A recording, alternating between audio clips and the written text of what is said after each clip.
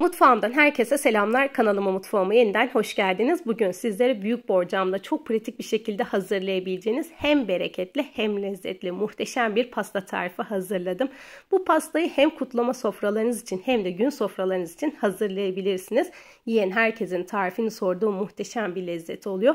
Buyurun hemen tarife geçelim. İlk etapta kekini yapmakla işe başlıyoruz. 4 adet yumurtanın üzerine 1 su bardağı toz şeker ilavesi yapıyorum.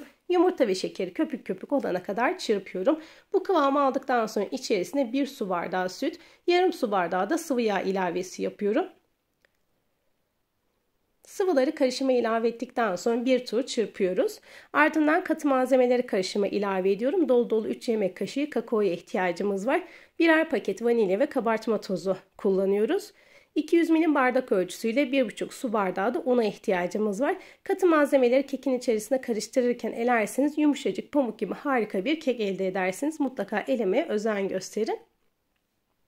Videomu buraya kadar izlediyseniz beğenmeyi unutmayın. Kanalıma abone olmayı unutmayın. Birbirinden güzel tariflerim var. Mutlaka göz gezdirmenizi tavsiye ederim. Kek harcımız hazır. Ölçüler büyük dikdörtgen borcam için uygun. Tabanını ıslattım. E, taban ölçülerinde yağlı kağıt kestim koydum tabanına mutlaka yağlı kağıt kullanmanız gerekiyor. Hazırlamış olduğumuz kek harcını da tepsiye alıyoruz. Böyle bir iki kez sallıyorum. Önceden ısıtılmış 180 derecelik fırında 20-25 dakika kadar kekimizi pişiriyoruz. Kekimiz pişerken biz de kremasını hazırlamaya geçelim. 2 poşet sade krem şantiye ihtiyacımız var. 200 milim bardak ölçüsüyle 2 su bardağı buz gibi soğuk süte ihtiyacımız var.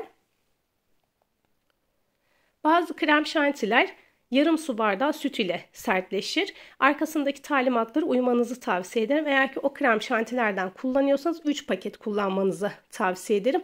2 su bardağı süte 3 paket krem şanti kullanın. Bekleme esnasında krem şantiyi dolaba kaldırıyorum. Kekim de fırından çıktı pamuk gibi harika bir kek elde ediyoruz. Üzerini kapatıyorum. Bu şekilde soğutuyorum. Tamamen soğuttuktan sonra kesme işlemine geçiyorum. Bu şekilde bıçak yardımıyla kenarlarından keki ayırıyorum. Tekrardan bıçak yardımıyla kaldırdım. Tepsimizin içerisinden kekimizi çıkartıyoruz.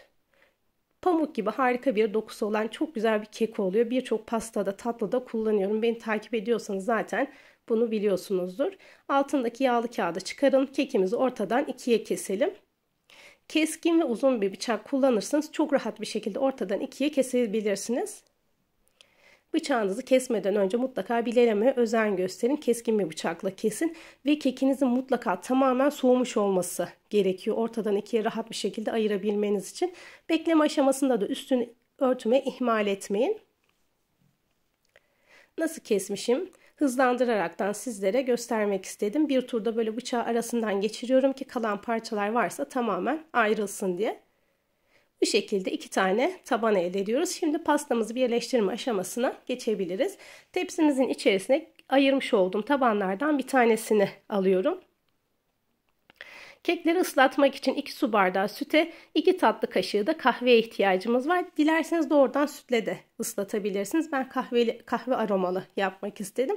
Kahveyi içine döküyorum. Güzelce içerisinde eritiyorum. Birer e, su bardağı olacak şekilde her kata bu şekilde ıslatıyoruz. Her tarafına gelmesine özen gösterin. Dediğim gibi doğrudan sütle de ıslatabilirsiniz isterseniz. Bu tamamen sizin tercihiniz. Ama kahve çok yakışıyor. Hazırlamış olduğumuz krem şantinin bir kısmını sıkma torbasının içerisine aldım. Dilerseniz kaşık yardımıyla da dökebilirsiniz, kullanabilirsiniz. Her tarafına güzel bir şekilde yaydırıyorum. Çırpmış olduğumuz krem şantiyi iki seferde kullanacağız. iki katında kullanacağız. Göz kararı ikiye ayırdım ben. Diğer katı da üzerine alıyorum. Kalan sütümüzle bir su bardağı sütle bu katında ıslatıyoruz. Çok lezzetli bir pasta oluyor. Mutlaka yapmanızı tavsiye ederim.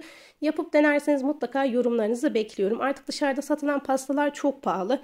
Doğum günleri için de bu pastayı hazırlayabilirsiniz. Gün sofralarınız için de hazırlayabilirsiniz. Kalan krem şantiyi de üst kısmını aldım. Güzelce her tarafına yaydırıyorum. Spatula ile düzeltiyorum. Buzdolabına kaldırıyorum tatlımı.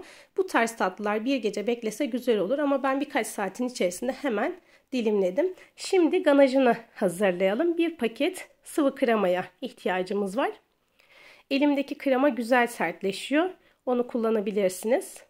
Kenarlarından kabarcıklar çıkana kadar kremayı ısıtıyorum. Kaynatmamaya özen gösterin. Isındıktan sonra içerisine 2 paket sütlü çikolata ilave ediyorum. Dilerseniz bir paket süt, bir paket bitter de kullanabilirsiniz. Çikolataları kıraraktan içerisine atıyoruz. Kaşık yardımıyla karıştırıyorum. Çikolataların içerisinde erimesini sağlıyorum. Tamamen eridikten sonra kenara alıyoruz ve soğumasını sağlıyoruz. Tamamen ganajımızın soğumuş olması gerekiyor kullanabilmemiz için. Hafiften de kıvam alması gerekiyor. Bu kıvamı aldıktan sonra içerisine bir su bardağı yer fıstığı katıyorum. Dilerseniz fıstıklı değil de fındıklı da yapabilirsiniz. Fındıklı da çok güzel olacaktır. Tuzsuz yer fıstığını döktüm. Güzel bir şekilde her tarafına yediriyorum. Hazırlamış olduğumuz ganajı pastamızın üzerine alıyoruz.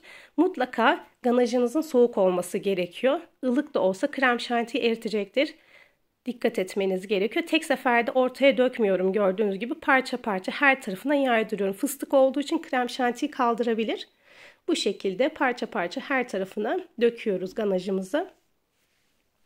Dediğim gibi yer fıstığı değil de fındıkla da yapabilirsiniz. Fındıkla da çok güzel olacaktır. Snickers pasta lezzetinde çok ama çok lezzetli oluyor. Mutlaka yapmanızı tavsiye ediyorum.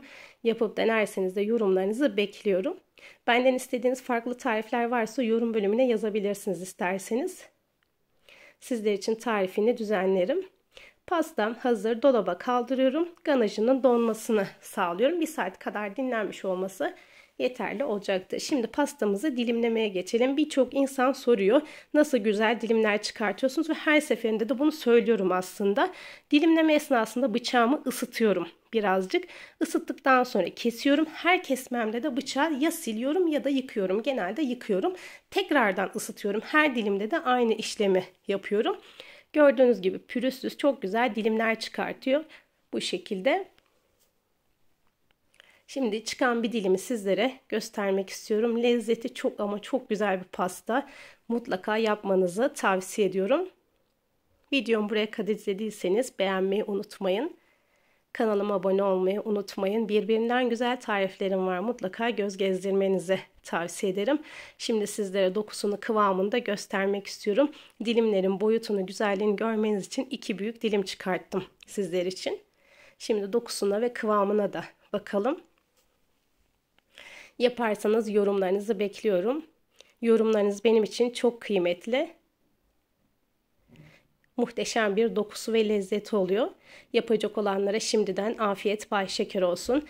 Videomu beğenmeyi, kanalıma abone olmayı unutmayın. Yaparsanız da dediğim gibi yorumlarınızı bekliyorum. Hoşça kalın, sağlıkla kalın.